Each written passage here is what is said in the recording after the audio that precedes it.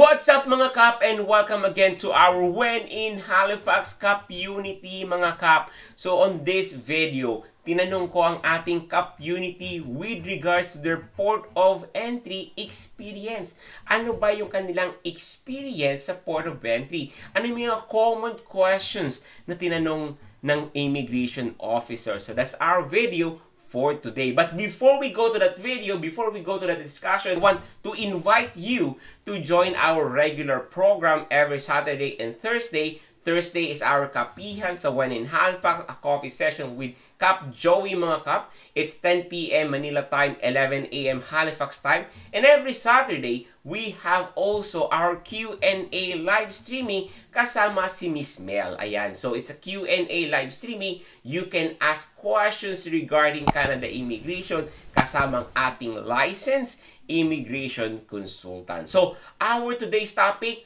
port of entry. Ano ba yung port of entry? Port of entry mga kap, eto na yung papasok ka na sa Canada.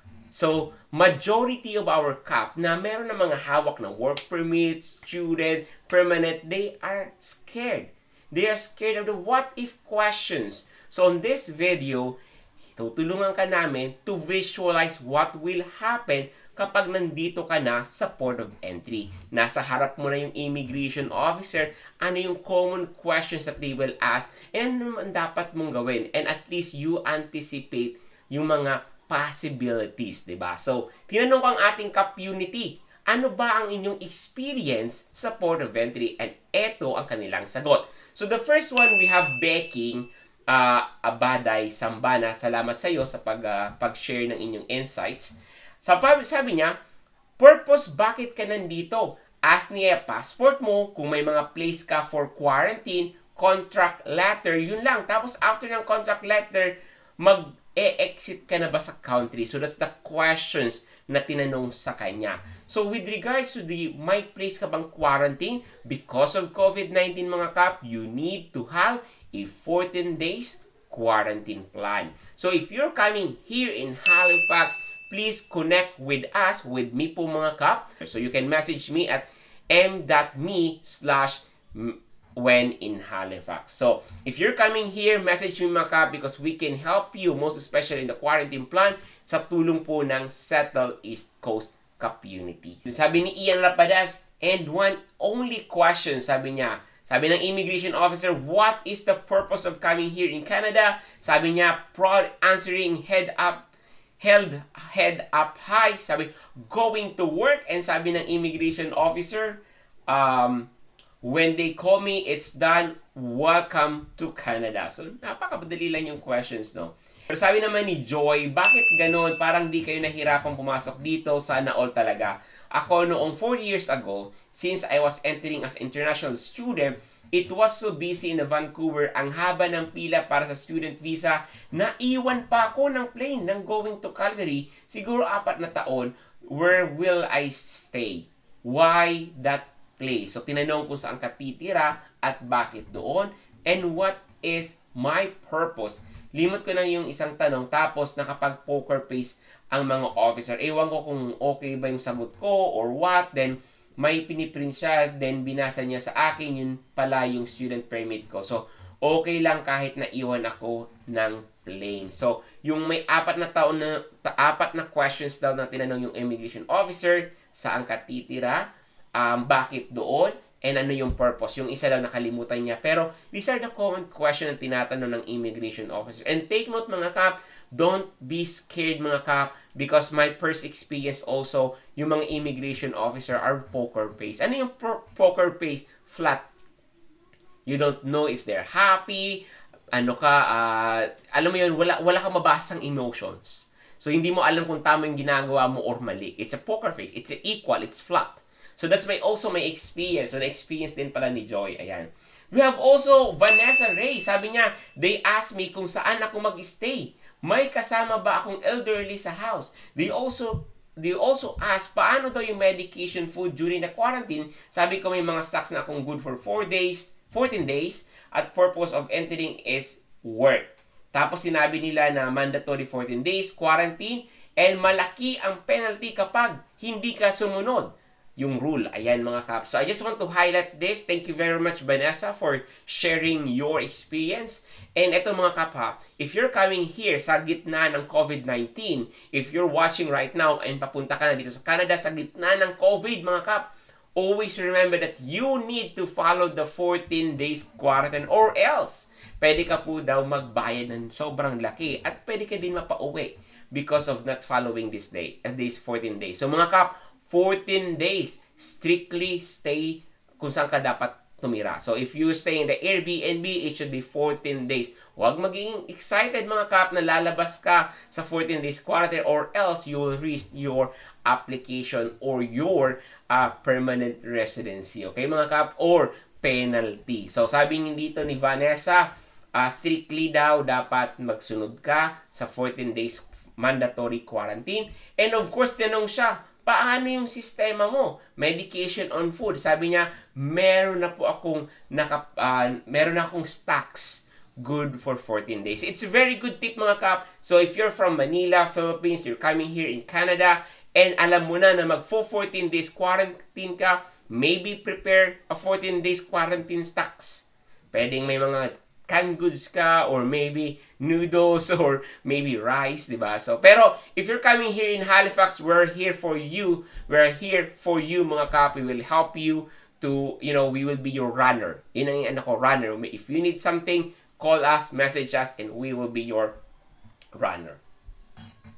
Sabi ni Iyolts, Alexi Mangabang, ako po nag-apply pala pero iniisip ko na yung mga tanong sa akin ng immigration officer. What is my purpose of coming Canada? Well, Canada is the best country in the world where I want to serve the work with all my heart and I thank you. Parang pang Miss Universe lang ano. Pero that's a very good questions. Uh, very good preparation. Wala ka pang application. Nag-iisip ka pa lang. At least meron ka ng sagot. It's a good planning as well. Nikoy Hoson, I showed my passport and COPR and they and then they asked for my address, for my PR card to be sent, and that's all. I mean, pati ako nabigla kasi madali lang pala. So ayan, tinanong lang daw si Nico ng COPR at address kung saan ipapadala yung PR card. Wow, napakabilis. Actually, mga kap, parang ganito din yung nangyari sa akin. Walang masyadong tanong. Actually, uh, my experience sa Port of Entry is pinakita ko yung COPR, naka-ready po yung aking um, proof of funds, nakaready din po yung listahan ng mga gamit ko as advised the PIDOS. Sabi kasi sa PIDOS mga kap, listahin mo lahat ng dadalhin mo kung ilang sapatos, ilang brief, ilang medyas, ilang damit, ilista mo yon. So, ginawa ko naman, share masunurin tayo, nilista ko po yun. So, I prepared all those lists, my proof of funds, kasi sabi sa mga blogs and blog is at tatanungin ka ng proof of funds at ipapakita mo so naka-ready yung bank draft ko, naka-ready yung listahan ko. So, on the in front of the immigration officer, binigay ko yung COPR and actually they asked the same question. Um, I think saan ako titira, pa, saan ako titira sa Halifax. So, yun lang. And then later on, uh, pinapasok na ako. That's it. That's, that's easy. That's 2016 mga kap. So, sabi ni Kim, ang tanong lang sa akin, Anong gagawin mo dito? Sabi ko, mag-work lang. Ayun. Di ba? Napakabilis. So, ayan. Sabi ni Jeremy. Jeremy, shout out to you, Jeremy Mendoza. So, kung hindi mo pa, na, hindi mo kilala si Jeremy Mendoza, I invited several times Jeremy Mendoza on our Cup Unity, mga Cup.